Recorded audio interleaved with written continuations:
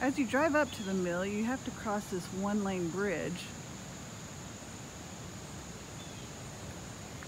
There were several warning signs indicating that this is a historic bridge and that you're at a restricted weight limit to cross this.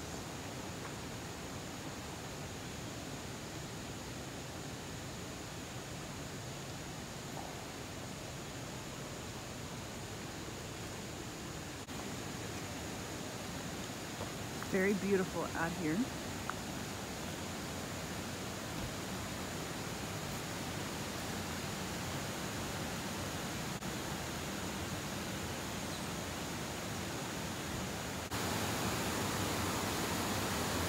And I most definitely want to watch where I'm walking because I do not want to take a tumble off the edge here.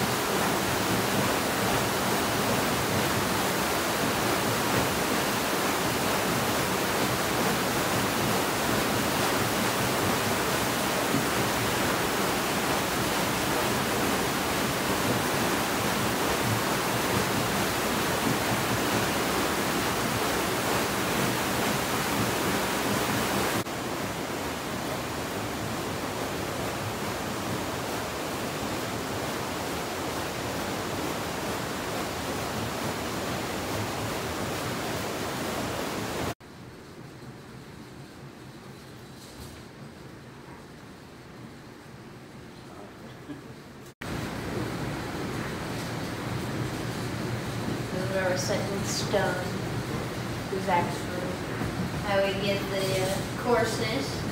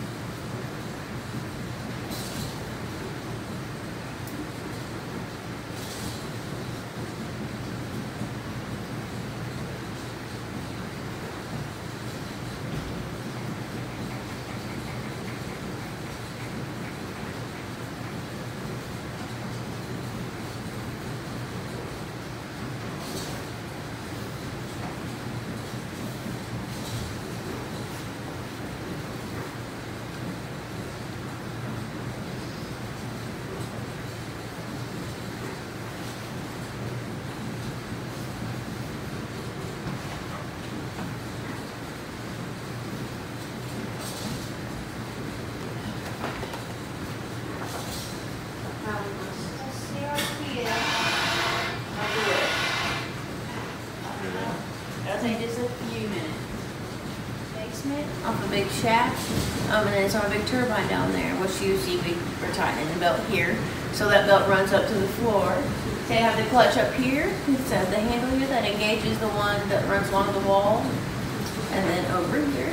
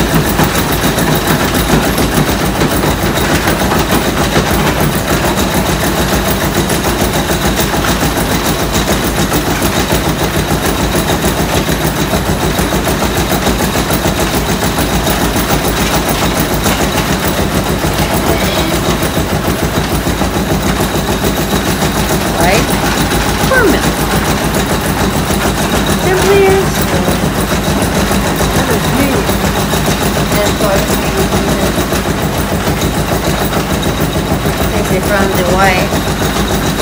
Yeah.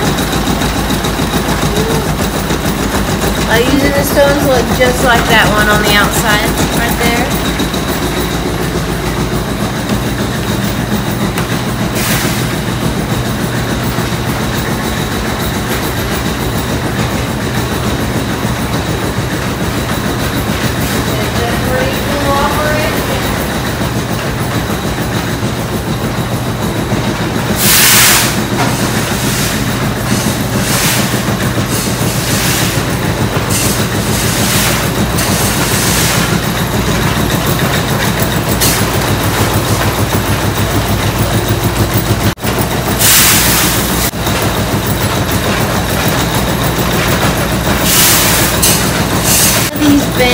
At least 20 pounds.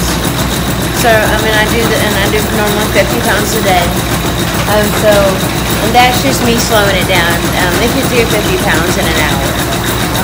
So, um, this is a, you know, show and production. So, uh, I'm gonna push for 100 today.